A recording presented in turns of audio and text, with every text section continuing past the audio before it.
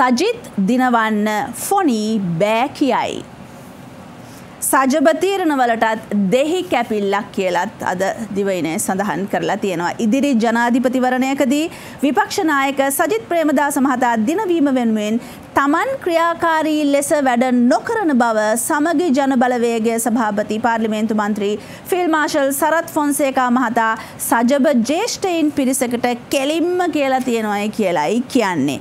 ෆොන්සේකා මහතා පක්ෂයට විරුද්ධව සිදු කරනු ලබන විවිධ ප්‍රකාශ සම්බන්ධයෙන් විමසීමට රංජිත් මද්දුම බණ්ඩාර ලක්ෂ්මන් කිරියැල්ල තිස්ස අත්තනායක ගයන්ත කරුණාතිලක යන මහත්වරුන්ගෙන් සමන්විත පිරිසක් සමග පසුගියදා පාර්ලිමේන්තු කාමරයකදී පැවති විශේෂ සාකච්ඡාවකදී තමයි එතුමන් මේ පිළිබඳව අදහස් දක්වලා තියෙන්නේ කියලා අද දිවයින පත්තරේ එලෙස සඳහන් කරලා තියෙනවා.